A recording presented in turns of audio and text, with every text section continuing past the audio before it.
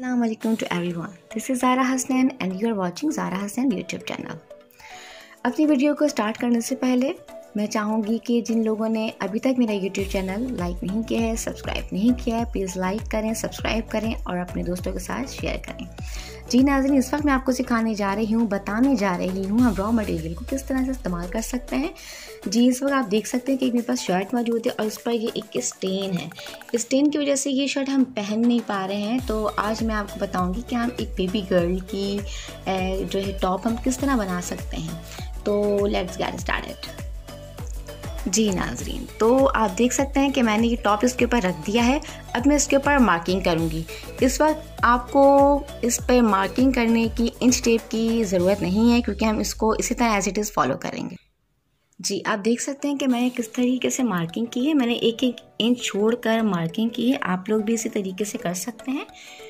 ये देखिए can see इस तरह से मैंने मार्किंग की। अब मैं इसको कट कर लूँगी। जी व्यूअर्स आप देख सकते हैं कि मैंने इसको किस तरह से कट कर लिया है। सीजर्स के थ्रू आपने भी इसको इसी तरह कट कर लेना है। ठीक है, अब हम इन दोनों पार्ट को अलग कर लेंगे। ये हमारा है आगे का पार्ट और ये हमारा बैक पार्ट अब हम इसकी आगे गली की कटिंग कर लेंगे, ठीक है? और जो बैक की है, उसको हम इसी तरह हल्का सा लाइटली गोल गला कर लेंगे। जी।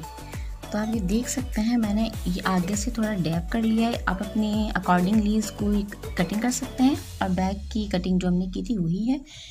और ये आप देख सकते हैं, ठीक है? अब हम इसको स्टिच करेंगे। स्टिच करना बहुत आसान है। आपने इनकी बस स्लीव्स को ज्वाइन करना है आपस में, इसमें कुछ खास नहीं क्योंकि ऑलरेडी सब कुछ स्टिच है। तो अब हम इसको करते हैं start stitch so let's get जी नाजिन अब हम इसको करने लगे हैं स्टार्ट सबसे पहले हम इसकी स्लीव्स का जो शोल्डर है हम इसको स्टिच करेंगे और इसको शोल्डर से मिला देंगे इसको, ठीक है? और दूसरा वाला शोल्डर भी हम इसी के साथ ज्वाइन कर देंगे। जी नाजिन तो हमने इसके दोनों पार्ट देख के मिला दिए हैं। अब हम इसका बनाएँगे गला। गला मैं आपको बनाने के लिए बता दूँ कि हमें पहले आड़ी कटिंग के लिए हमें पट्टियाँ चाहिए होंगी। मैं आपको कटिंग का तरीका बताती हूँ। जी नाजरीन, आगे देखिए हमने इसका कपड़ा ले लिया है। अब हम इसको इस्त्री करने लगे हैं, ठीक है? तो हम इसको इस तरह इस्त्री करेंगे, प्रेस करेंगे। आप देख सकते हैं हम इसको किस तरह प्रेस कर रहे हैं।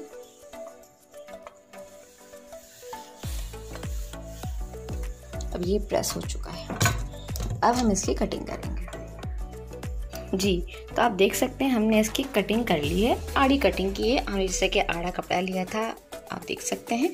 ठीक है, अब हम इसको ज्वाइन करेंगे इसके गले के साथ। जी व्यूअर्स अब हम इस पट्टी को लेंगे और अब हम इस पट्टी को पूरे गले के साथ शर्ट को हम सीधा कर लेंगे। आप देख सकते हैं शर्ट को हमने सीधा कर लिया है।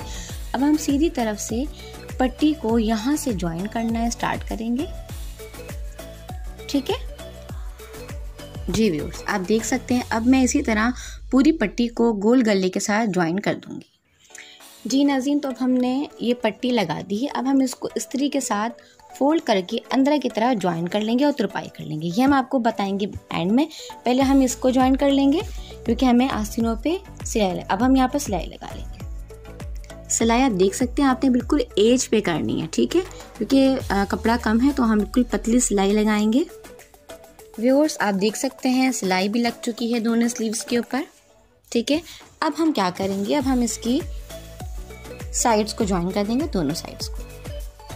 जी अभी आप देख सकते हैं, मैंने इस तरह इसको रख लिया है। अब मैं इसको स्टिच कर दूँगी यहाँ से और पूरे इसके एंड जी अभी आप देख सकते हैं, सिलाई हमने कर दी है। अब हम यहाँ से इसके कट लगा देंगे, बिल्कुल लाइट लाइट सा, दोनों साइड से।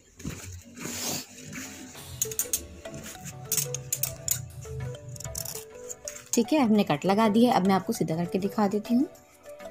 जी व्यूअर्स हमने इस पर इस्त्री कर ली है अब हम इस पर सिलाई लगा लेंगे। चाहे तो आप इस पर स्टिच कर लें या चाहे तो आप इसको तुरपाई भी कर सकते हैं। ये देखें, ये बिल्कुल रेडी हो चुकी है। अब